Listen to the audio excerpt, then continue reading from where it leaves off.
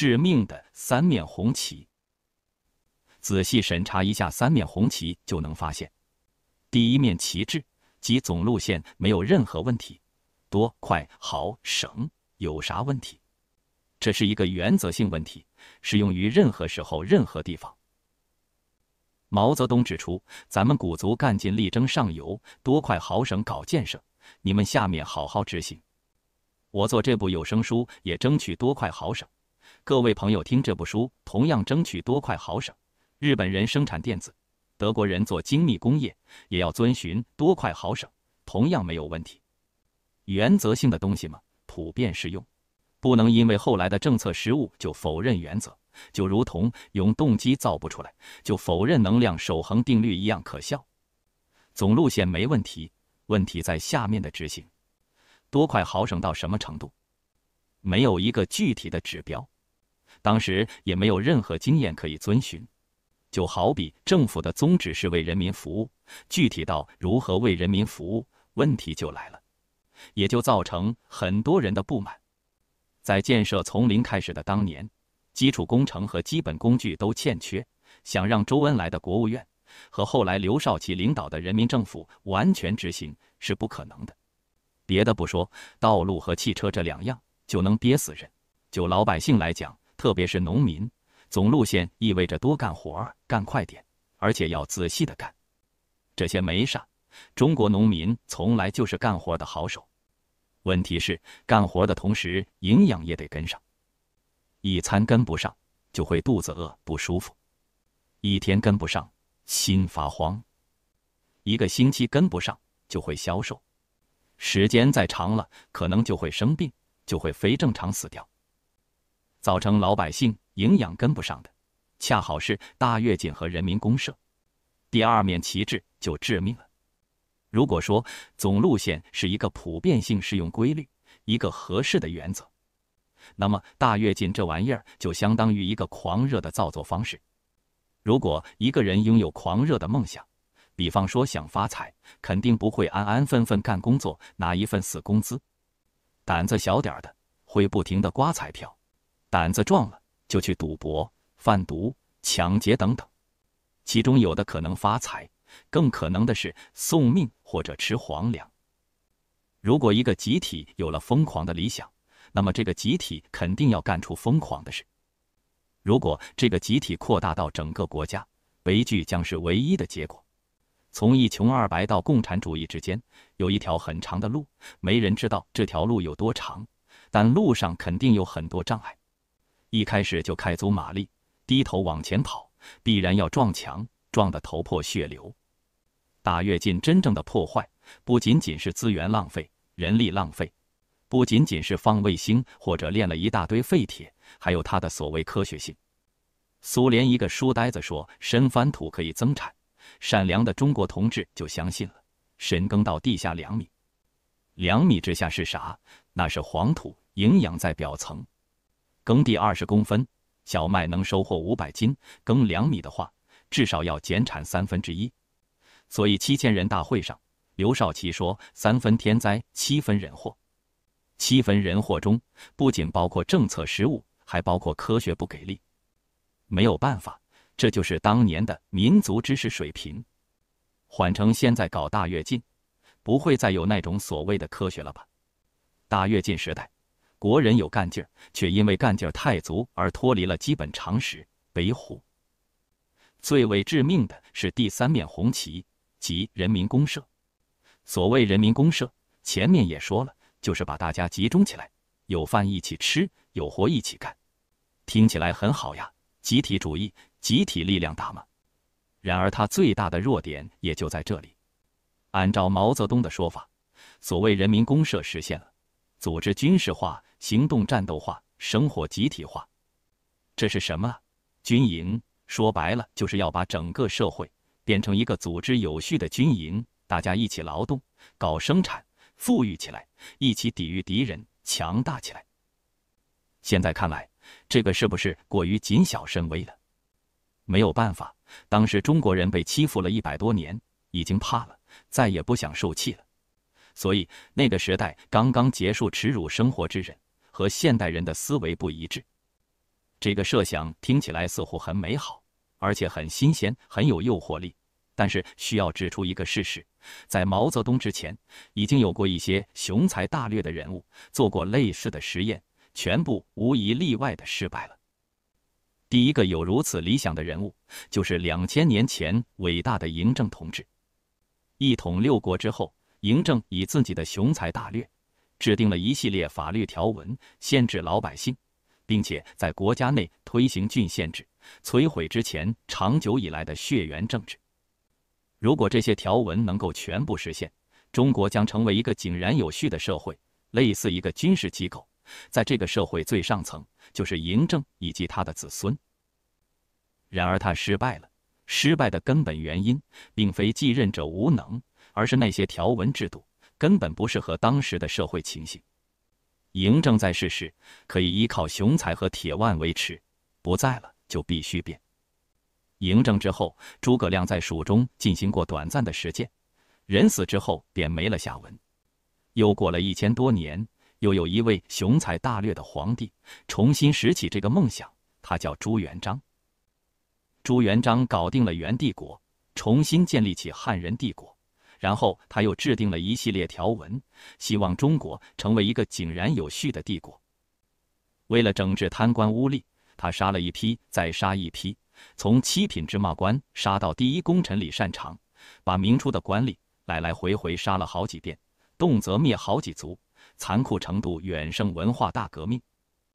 为了加强中央集权，他废除了宰相制度，所有活都是自己干。然而他依然失败了。后来出了太监耀武扬威，甚至还出现了张居正这种凌驾于皇帝之上的名臣。从嬴政到朱元璋，他们都有一个极大的矛盾。按照他们制定的那些法律条文，需要素质极高之百姓方能适应，但他们统治时却尽量让老百姓愚昧。所以，从秦帝国到明帝国，中国人摆弄出了四大发明等一系列让我们民族骄傲的东西，但是在思想上还是原地踏步，依然没超过春秋诸子之范畴。朱元璋的民众素质并不比嬴政的民众素质高，而此时的欧洲。古典文明已经和基督文明相结合，已经完成了文艺复兴，正准备玩工业革命。朱元璋之后，又有明清两朝五百多年，民众素质增长了多少呢？依然是在原来的土地上，日出而作，日落而息，增长指数无限趋向于零。清帝国完蛋之后，中国经历了大约半个世纪的连天战火，毛泽东成了最高领导。这五十年里，发生了五四运动，经过各种思想启蒙，中国民众的素质还是上涨了不少的。然而，此时的西方文明已经完全进入了工业化时代。嬴政时代，中国民众素质至少不比西方世界差；朱元璋时代已经开始落后；毛泽东时代已经远远落后。此时的毛泽东再一次拾起那个梦想，把整个国家的力量整合在一起。追赶那些发达国家，他的办法就是人民公社。他比嬴政、朱元璋等人干的都彻底。很多人拿毛泽东和嬴政、朱元璋等人做对比，确实他们在作风上乃至思想上有很多可比性。但是这些对比者都忽略了一种情况，就是毛泽东在民众中的威望远胜嬴政、朱元璋或者其他人。这么说可能会惹来很多口水。毕竟我没在嬴政或朱元璋的时代生活过，也没有穿越过。但是我知道一个事实，就是毛泽东比嬴政或者其他人多干了一件事：土地改革。挺毛泽东的人执着于毛泽东的战功，贬毛泽东之人侧重于毛泽东搞运动整人，中间派更愿意学习毛泽东的权谋。在我看来，毛泽东的全部威望均来自于土地。毛泽东威望的源泉。中国的农民如同野草一样，生存能力非常强大，只要有点土地就能存活。然而几千年以来，农民常常如野草一样，一次又一次的枯萎，因为农民们常常没有土地。每个王朝刚开始的时候，农民可以分得一点土地，然后就是土地的兼并集中，等到兼并集中的差不多了，就有人挨饿。有人挨饿，就有人造反，历史上一个又一个王朝，某种意义上就是一次又一次的土地重新分配。洪秀全也就一句“耕者有其田”，就把清王朝折腾得摇摇欲坠。每一个王朝初年，农民手里有点地，国家就能征收更多钱粮。中央政府有钱了，就有能力去开疆辟土、去宣扬文明什么的。新中国诞生之后，中国再一次统一。统一之后，迅速完成了土地革命。这一次土地革命比任何一个时代都彻底。地主没有了，大家都拿到了土地，这是五千年历史上从未有过的壮举。纵观整个中国历史，如果挑选一件事来代表资源在整个国民范围内的平均分配，必然是土改。共产党政府真正意义上站住脚，并非是因为打败了蒋介石。并非抗美援朝胜利，并非所谓的苏联支持，而是土地革命。有了土地革命，相当于有了农民的支持。在中国历史上，没有农民支持的政府，从来没有真正稳定过。关于这一点，撤退到台湾的蒋介石想必印象极为深刻。在蒋介石的领导下，中国赢得抗日战争的胜利，参与创建联合国，并且赢得五大常任理事国的地位。然而，蒋介石和他领导的国民党与国民政府却始终没能赢得农民的支持。毛泽东和他领导的共产党与人民政府得到了农民支持，其根本差别就在土地问题上。在那些拿到土地的农民眼中，任何敢于怀疑新政府的人都是不可思议的。给予他们土地的中央政府是伟大的，领导中央政府的毛泽东更是伟大的。回顾那一段历史的时候，会发现毛泽东的威望非常的高，高到无法无天。当他要批彭德怀，彭德怀就要完蛋；要批判刘少奇，刘少奇就要死。当他准备收拾林彪，林彪一点反抗的余地都没有。他动动嘴，邓小平就起了再落，落了再起。